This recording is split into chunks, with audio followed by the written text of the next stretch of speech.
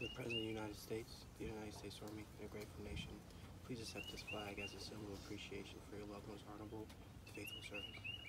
Thank you.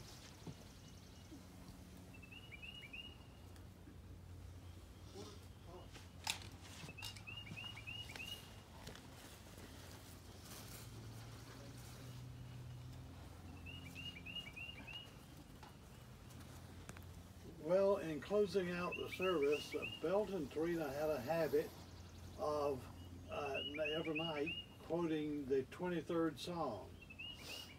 So now we will, if you don't mind, become a family with Tarita and we will quote the 23rd Psalm with her. If you would, please. Okay.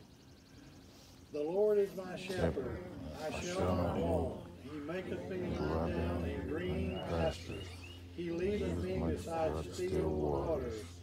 He restoreth my soul. He leads me in the path of righteousness for his name's sake. Yea, though I walk through the valley of the shadow of death, I will fear no evil, for thou art with me.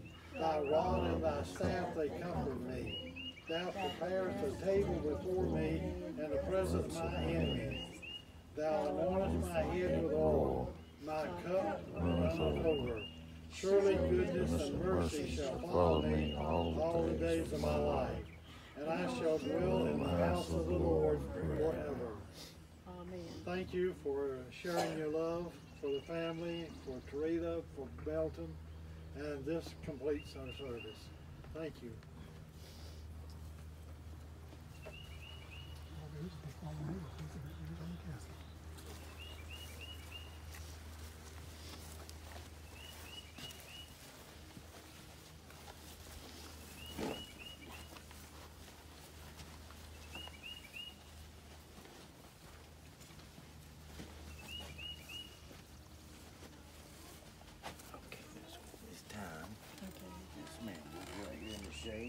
speak to your friends and your family. Okay. Please speak to the family if you like. But this concludes the service.